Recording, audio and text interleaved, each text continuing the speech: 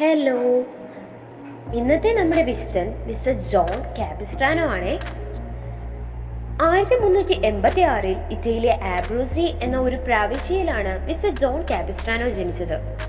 ഒരു ജർമ്മൻ പ്രഭു ആയിരുന്ന അദ്ദേഹത്തിന്റെ പിതാവ് വിസ്തന്റെ ചെറുപ്പത്തിൽ തന്നെ മരണപ്പെട്ടു. വിസ്ത ജോൺ ഒരു നിയമജ്ഞനാവുകയും പെറൂഞ്ചിയയിലെ ഗവർണർ സ്ഥാനം നേടുകയും ചെയ്തു. ആയിരത്തി നാനൂറ്റി പതിനാറിൽ പെറൂഞ്ചിയും മാലിറ്റെസ്റ്റിയും തമ്മിൽ യുദ്ധം തുടങ്ങിയപ്പോൾ മിസ്റ്റർ ജോൺ സമാധാനം കൈവരിക്കുന്നതിനായി മധ്യസ്ഥ ശ്രമങ്ങൾ തുടങ്ങി. നിർഭാഗ്യവശാൽ അദ്ദേഹത്തിന്റെ എതിരാളികൾ സത്യം അവഗണിച്ചുകൊണ്ട് അദ്ദേഹത്തെ യുദ്ധ കുറ്റവാളിയായി തടവിലാക്കി.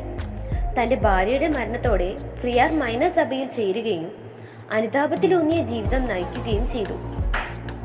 ജോൺ സിയാനായിലെ മിസ്റ്റർ ബെർണാഡിന്റെ ശിഷ്യനായി തീരുകയും ആയിരത്തി നാനൂറ്റി ഇരുപതിൽ ക്ഷേമാശനായിരിക്കെ തന്നെ തന്റെ പ്രവർത്തനങ്ങൾ തുടങ്ങുകയും ഏറെ താമസിയാതെ അറിയപ്പെടുന്ന ഒരു സുവിശേഷകനായി മാറുകയും ചെയ്തു.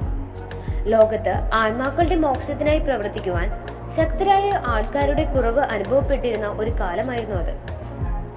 മുപ്പത് ശതമാനത്തോളം ജനസംഖ്യ കറുത്ത മഹാമാരി എന്ന അസുഖത്താൽ മരണപ്പെടുകയും അഭിപ്രായ ഭിന്നതയാൽ സഭ ഭിന്നിക്കപ്പെടുകയും ഒരുപാട് ആളുകൾ സ്വയം മാർപ്പാപ്പയായി അവകാശപ്പെടുകയും ചെയ്തുകൊണ്ടിരുന്ന സമയമായിരുന്നു അത്.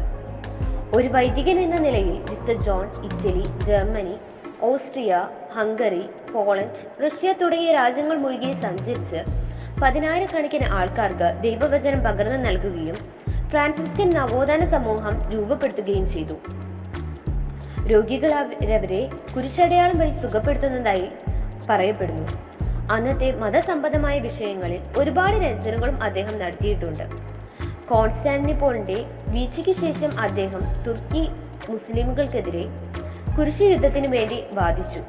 എഴുപതാമത്തെ വയസ്സിൽ കാലിസ്റ്റ് രണ്ടാമൻ മാർപ്പാപ്പ മിസ്റ്റർ ജോണിനെ കുരിശു യുദ്ധം നയിക്കുന്നതിനായി ചുമതലപ്പെടുത്തി. ഏതാണ്ട് എഴുപതിനായിരത്തോളം വരുന്ന ക്രിസ്ത്യാനി പടയാളികളെയും നയിച്ചുകൊണ്ട് അദ്ദേഹം യുദ്ധമുഖത്തേക്ക് പോയി. ആയിരത്തി നാനൂറ്റി അമ്പത്തി ആറിലെ വേനൽക്കാലത്ത് ബൽഗ്രേഡിൽ വെച്ച് നടന്ന മഹായുദ്ധത്തിൽ അദ്ദേഹം വിജയിച്ചു.